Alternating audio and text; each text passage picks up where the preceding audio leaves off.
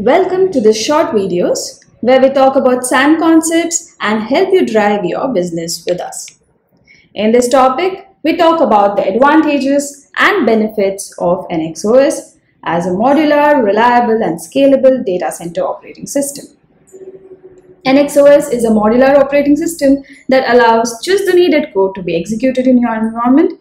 If you're running OSPF, for example, there is no need for code-related EIGRP or BGP to be running on the system. This adds to the stability, scalability, and security of the system. This modularity also allows for other listed features such as in-service software upgrades, also known as ISSU, and these two related topics regarding processes which allow for just an individual process to be restarted in the event of failure, while the rest of the system is totally unaffected, continuing to function. Other advanced features include RBAC for access control, as well as a very powerful XML API allowing fast and efficient remote administration of NXOS. Keep in mind that although NXOS was built and designed for data center, it can be used in any Ethernet environment. On this slide, we see a great representation of the modularity of NXOS. We see here how NXOS has separate families for layer 2, layer 3 and storage protocols.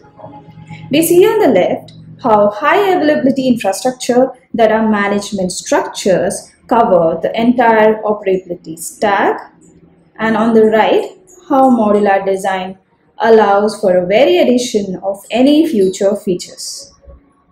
NXOS runs on an underlying Linux version 4.1.1 kernel with platform-dependent chipset and driver abstraction. This architecture makes for easy adoption of NXOS to new switches and platforms. The system manager is responsible for restarting the failed processes on the system and other process-related tasks. In order to accomplish process restart without losing data such as tables during the restart, NXOS uses the message and transaction services called as MTS and persistent storage services called as PSS for the control plane. Now, moving on to the data plane, Cisco non-stop forwarding and graceful restarts allow continuous operation during process restart. In the case of dual supervisors, MTS and PSS are synchronized between the supervisors.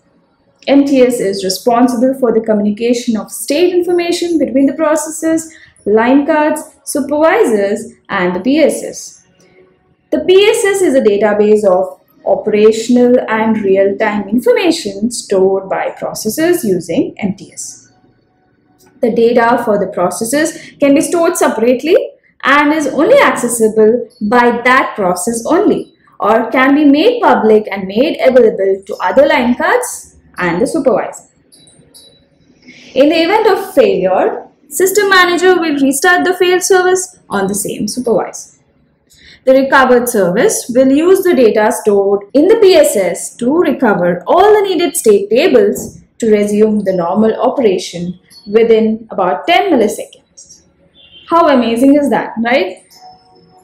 Because NXOS uses hardware forwarding on the line cards, none of these process recovery will have any effect on the forwarding of the traffic through the switch.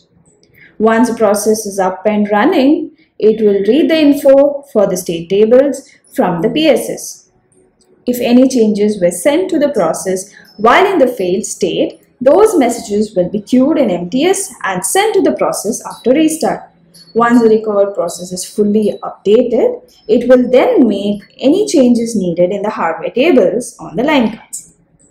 In the meantime, all traffic forwarding will continue using the information known in the hardware tables before the process failure.